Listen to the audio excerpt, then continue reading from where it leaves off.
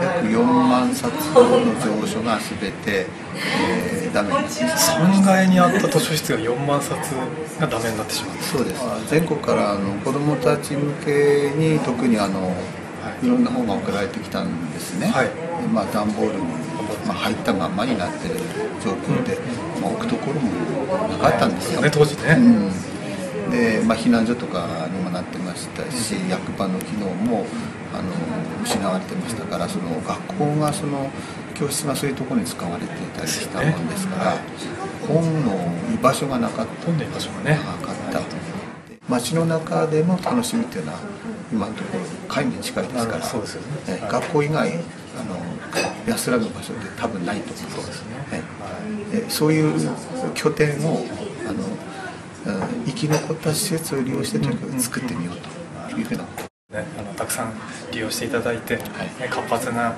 施設でねそうですね。ほしいなと思いますね。はい、はい揃えるために全国至る所から支援をいただいてるんですね、ですからその女川とその全国の方々あるいは団体そういう人たちとのまずつながりですね。そのつながりがあってこの図書館ができたんだっていうこと。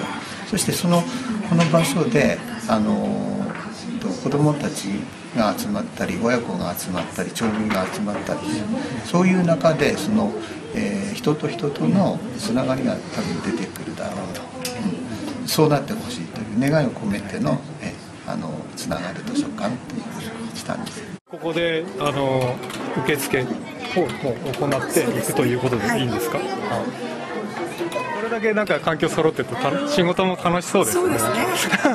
までが大変だった。震災後、はい、何かあの子供たちに変化ってあるんですか？そうですね。やっぱり地震とか津波がすごくショックが大きかったので。はい。2年目ってなるとやっぱもうちょっとなんかもう盛り返して。